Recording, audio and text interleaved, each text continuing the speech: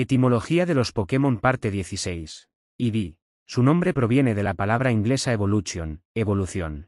Vaporeon. Su nombre viene del español vapor, una condición del agua, y, el sufijo eon, que se le colocó a toda la familia evolutiva de EV, derivada del inglés evolution. Jolteon. Su nombre proviene de la palabra yol, sacudir, por el efecto causado al electrocutarse, también puede venir de volt, voltio.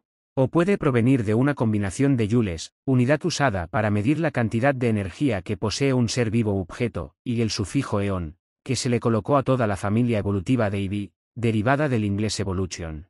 Flareon. Su nombre proviene de la palabra inglesa flare, que significa llamarada, y, el sufijo eon, que se le colocó a toda la familia evolutiva de EV, derivada del inglés evolution. Porygon, su nombre viene de la palabra poligón, polígono, por su forma poligonal y de origami, el arte japonés de hacer figuras de papel sin cortarlo, solo con pliegues.